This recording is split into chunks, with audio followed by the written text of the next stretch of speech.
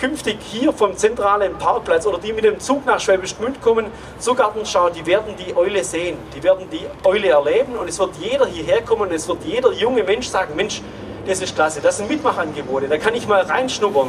Es wird durch die Eule, die Landesgartenschau, nochmal ein richtig, ja, ein Qualitätssprung, die ist ja natürlich super.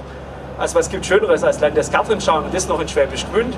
Und wenn Sie sehen, was wir gerade bewegen, dann kann man nicht sagen, ja, wir haben doch schon viel Gutes. Aber gerade die jungen Menschen und gerade das nachhaltige Konzept, das ist das, was uns überzeugt hat und das, was auch die Landesregierung überzeugt hat. Und deshalb haben wir den Zuschlag erhalten und deshalb stehen wir auch heute hier und dürfen diesen gemeinsamen Weg, diesen gemeinsamen Schritt nun miteinander begehen.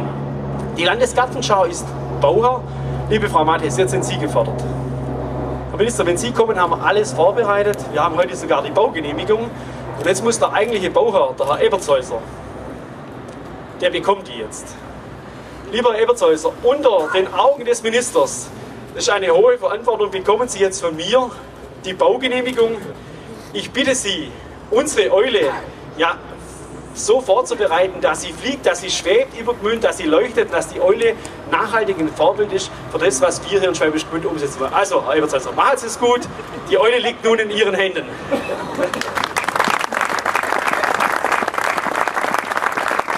Ich denke, ich habe jetzt den Bogen soweit gespannt und lieber Klaus Arnhold, jetzt bitte treten Sie nach vorne. Ich muss jetzt auch meinem eigenen Team mal Danke sagen. Klaus Arnhold war von der ersten Minute an mit dabei bei der Konzeptentwicklung. Er war früher der Wirtschaftsförderer der Stadt Schwäbisch Gmünd und hat gedacht, das Projekt überzeugt mich so, da wechsle ich von der Wirtschaftsförderung in den Bereich Bildung. Und dieses Projekt hat er mitgenommen und es soll ein Stück weit auch das Signal sein an unsere Gmünder Firmen und an die Bildungslandschaft. Nur gemeinsam schaffen wir es, dieses große Ziel umzusetzen. Nur gemeinsam schaffen wir es, wenn ja Arbeitsmarkt und Schule eng zusammenstehen. Ich denke nicht, dass wir schon die fertigen Mechaniker produzieren müssen in der Schule. Schule ist auch was mit Allgemeinbildung, aber dennoch ist wichtig, dass man miteinander in Kontakt steht und die richtigen Projekte hat. Ich sage deshalb heute Danke an meine, mein Team im Haus. Ich sage Danke an Herrn Nanz. Ich sage Danke, Frau Bader, an Sie und an die Bauverwaltung, die uns intensiv unterstützt hat. Wenn Nutzer und Bauherr zusammen agieren, dann kann es gar nicht schief gehen. Ich sage aber auch Danke an zwei Herren, die sich ein bisschen versteckt haben im Hintergrund. Die Herren Volkert und Böhm von ISW, die uns begleiten im Auftrag des Landes Baden-Württemberg. Es ist gut, dass wir Sie, dass wir euch haben, denn der Dialog ist immer wichtig und bringt uns voran. In diesem Sinne wünsche ich uns nun einen feierlichen, einen würdigen Auftakt für unsere Eule. Und ich freue mich ganz besonders, Herr Minister, dass Sie zu uns gekommen sind, ein Grußwort an uns richten werden, dass Sie zu uns sprechen zur Bedeutung von Eule und ich denke auch die Themen, die Sie sonst mitgebracht haben. Im Anschluss daran, die, das Land hat gesagt, Mensch, jetzt seid ihr als Kommunalverbund unterwegs. Die Politik ist da, also sollte schon noch jemand zu Wort kommen. Und da haben wir uns entschieden, dass für Politik und für die Gemeinden des Umlands der frühere Bürgermeister und jetzige Abgeordnete Mayer noch ein Grußwort sprechen darf, denn er verbindet diesen idealerweise. Wenn wir dann dieses enthüllt haben, Herr Minister, dieses Plakat, das da oben hängt, wo man gesagt hat, hoffentlich schaffen wir beide das, äh, dann werden wir Sie einladen, wo es ein bisschen wärmer ist, dann können Sie die Eule dann auch noch erleben. Da gibt es viele Bilder, da wird auch die Gartenschau präsentiert. In diesem Sinne ein herzliches Willkommen, Dankeschön an all die beteiligt waren, danke, dass Sie heute mit dabei sind. Vielen Dank auf unsere Gmünder Eule. Dankeschön. Ja, meine sehr verehrten Herren Abgeordneten aus Deutschen Bundestag und dem Landtag von Baden-Württemberg, meine sehr verehrten Herren Bürgermeister, meine Damen und Herren, wir haben ja eine Zeit, wo wir eine ganze Reihe von Herausforderungen zu meistern haben. Klimawandel, Globalisierung, aber auch vor allem die demografische Entwicklung, also die Veränderung der Altersstruktur, die Veränderung der Zusammensetzung unserer Gesellschaft, sowohl in den Städten wie eben auch in den Gemeinden des ländlichen Raums und die demografische Entwicklung ist eine Frage, die uns gerade als wirtschaftsstarkes Land in der Fläche berührt, weil wir alle wissen, dass die Frage Fachkräftemangel eine Frage ist, die auf uns und unsere Wirtschaft zukommt. Insbesondere in der Fläche des Landes im ländlichen Raum stellt sich deshalb die Frage, wie schaffen wir die Rahmenbedingungen so, dass unsere jungen Menschen die bestmöglichen Startchancen bekommen, die bestmöglichen Chancen bekommen, dann auch in qualifizierte Jobs zu gehen. Und da sind wir natürlich als Politik in der Verantwortung, im Bund, im Land, aber natürlich auch in den Kommunen, hier die Rahmenbedingungen so zu stellen, dass die jungen Menschen diese Chance kriegen und dass wir damit als Gesellschaft die Chance haben, in der Fläche Wertschöpfung zu generieren, in der Fläche attraktive Arbeitsplätze anzubieten, aber natürlich auch die notwendige Infrastruktur für Wirtschaft, aber auch Bevölkerung in der Fläche zu halten.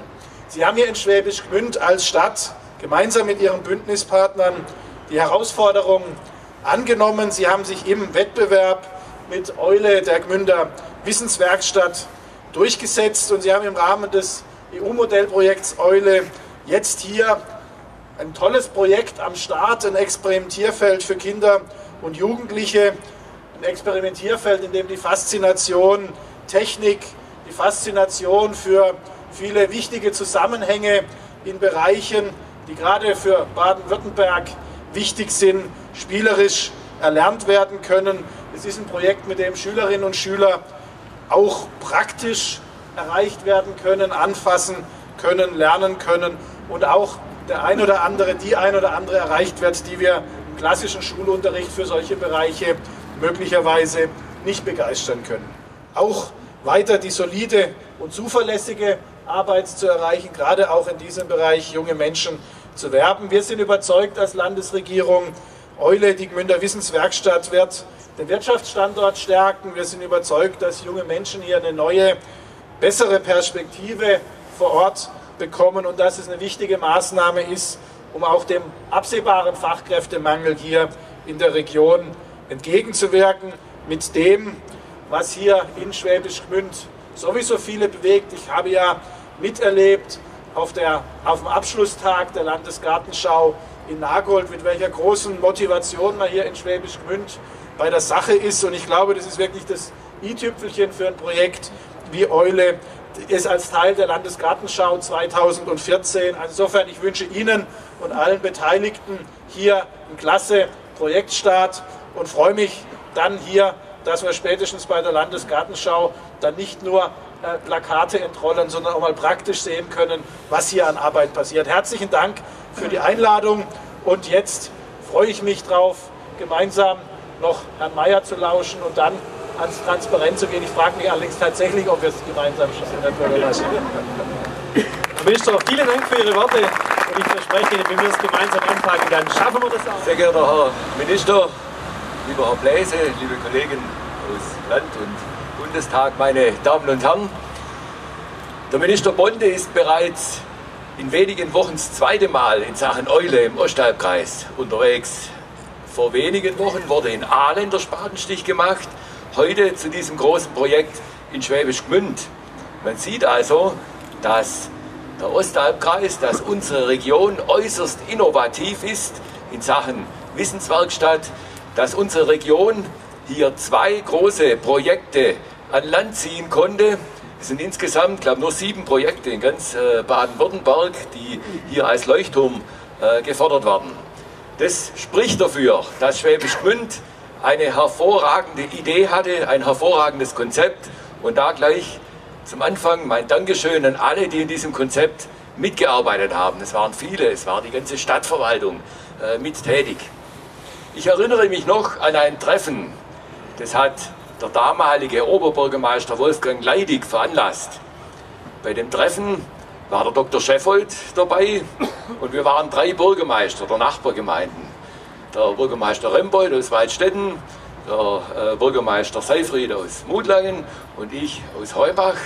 Und dann haben wir gesagt, Schwäbisch Gmünd hat eine hervorragende Idee. Wir machen an einem Wettbewerb mit für eine Wissenswerkstatt. Und da brauchen wir die Hilfe auch des Umlands. Das soll keine Idee der Stadt nur sein, sondern alle drumherum sollen mitmachen. Dr. Scheffold wurde natürlich gebeten, beim Land äh, für die Hilfe zu sorgen und das hat hervorragend geklappt. Wir sind dann, nachdem ein Gutachten vorgelegen ist, das Gutachten vorgestellt wurde, noch einmal in der Bürgermeisterversammlung zusammen gewesen und Herr Bläse, äh, da haben wir beide dafür gekämpft und das hat einen einstimmigen Beschluss und eine einstimmige Zustimmung gegeben, dass das ganze Umland hier bei diesem großen Projekt mitmacht. Und letztendlich haben wir unter anderem auch damit den Preis gewonnen und können heute diesen Spatenstich machen. Ich freue mich auch, dass wir den Standort hierher jetzt verlegt haben. Das ist der richtige Standort. der beste Standort. War eine gute Entscheidung. Da werden Tausende, wenn nicht Millionen Leute vorbeifahren, wenn dann die vorbeigehen, wenn dann die Gartenschau kommt. Die beste Reklame für dieses äh, Projekt. Und ich wünsche heute einen guten Start, unfallfreien Bau und später viel Wissen den Kindern, viel Wissen allen, die sich hier für die Eule interessieren und mitmachen. Dankeschön.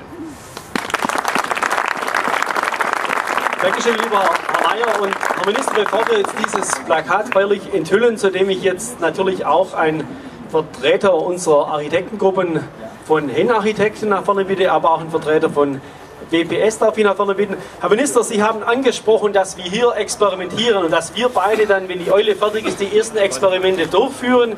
Wir haben aber jetzt schon ein kleines Experiment mitgebracht für Sie. Und zwar sollen Sie das erste selbstgebaute Solar-Luftkissenboot heute als kleines Andenken mitbekommen. Herr Nanz, zeigen Sie unser Sie haben schon alles gesagt, Herr Bläse. Das Spannende dabei ist, das Luftkissen besteht aus zwei Flaschen leckerem Bio-Rotwein. Lieber Herr Bonde, das müssen Sie zuerst trinken und dann können Sie das Luftkissenboot, wenn die Sonne scheint, überall fahren lassen. So, müssen wir nach Hause. Also, ein Luftkissenboot und da sind lecker gebackene Eulen drauf.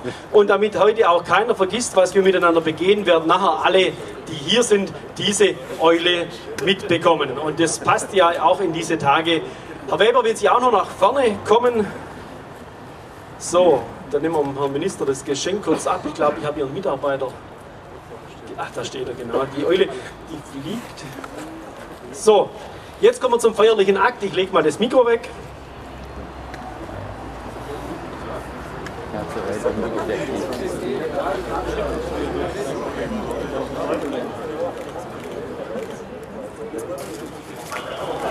Super.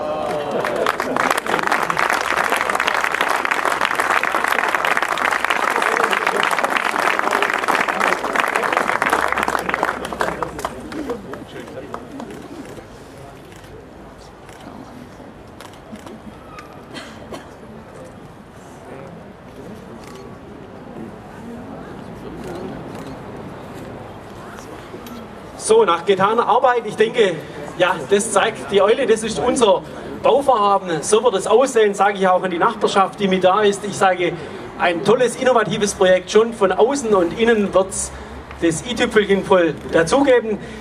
Ich darf Sie jetzt alle einladen, alle, die heute mitgekommen sind, bei dem schönen, warmen Wetter hier bei dieser Enthüllung dabei waren. In diesem Sinne, herzlich willkommen nochmals, ein großes Dankeschön an Sie, Herr Minister. Und weil wir das so gut machen, können wir das ja jetzt öfters machen, als wenn es irgendwelche Vorhaben gibt. Herr Minister, wir werden auf Sie wieder zurückkommen. Herzliches Dankeschön.